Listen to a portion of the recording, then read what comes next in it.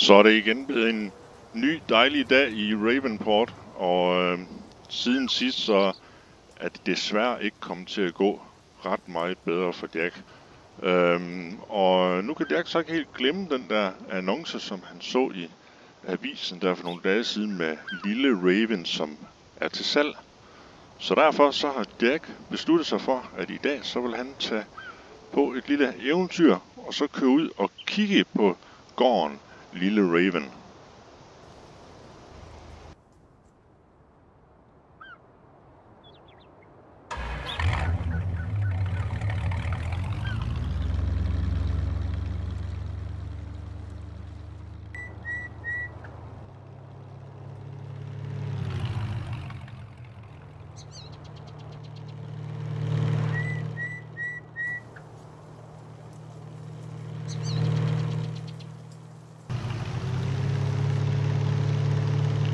Så er Jack næsten fremme ved Lille Raven, som ligger han foran.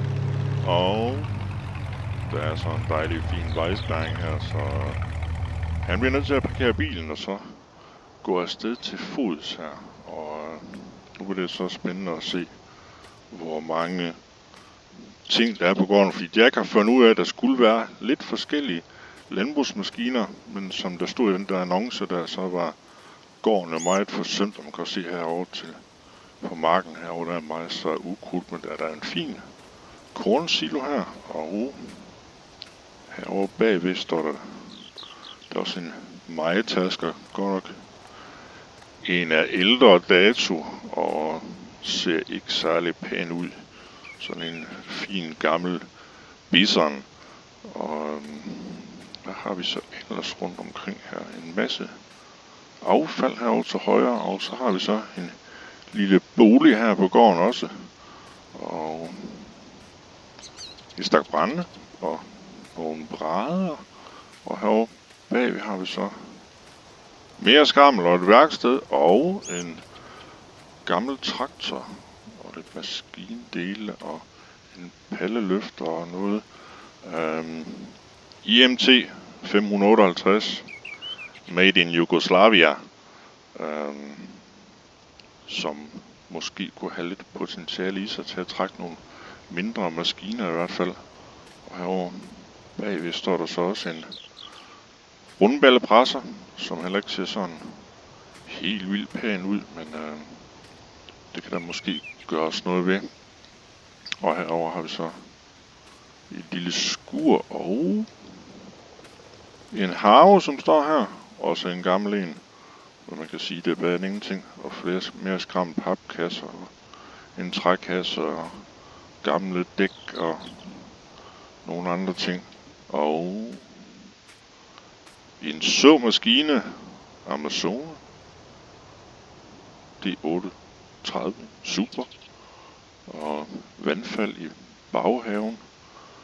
Og gødningssprayer ser også ud til kunne trænge til en kærlig hånd og øh, nu har Jack så også lavet andet research, fordi at herover har vi så en hestefold, og det er så noget af det, som Jack han synes måske var lidt interessant ved den her gård, der er en hestefold, fordi at øh, Jacks historie er jo faktisk, at han kommer fra en gård i sin tid, hvor de havde opdrettet heste.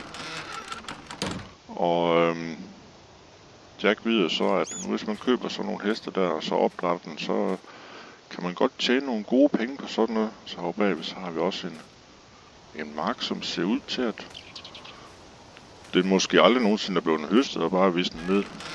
Og øhm, nu kan man jo sige, at det er godt, at der er lidt maskiner på den her gård, men der mangler sådan en hel del for, at man kan starte sådan et hesteopdræt. Men øh, det kan jo komme senere hen, fordi øh, nu har vi så har været en hvide mark, som aldrig nogensinde er blevet høstet, som er fyldt med ukrudt. Og så herover har vi en, hvad der måske har været en græsmark, som er blevet helt fyldt med træer.